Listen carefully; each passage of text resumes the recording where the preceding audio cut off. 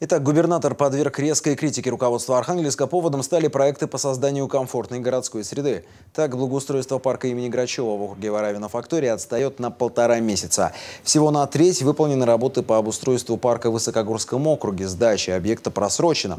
Не лучше ситуация и на набережной Северной Двины. Глава региона Александр Цибульский порекомендовал чиновникам выйти из кабинетов и, наконец, разобраться с положением дел.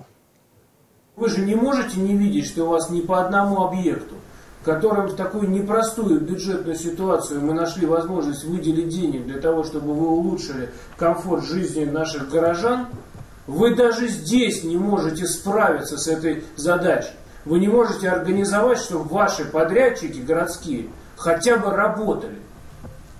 Но вам самому-то не стыдно? Как доложил главе региона, исполняющий обязанности главы Архангельска Даниил Шапошников, работы в парке имени Грачева выполнены на 80%. По этому и другим незавершенным срок объектам город начал претензионную работу.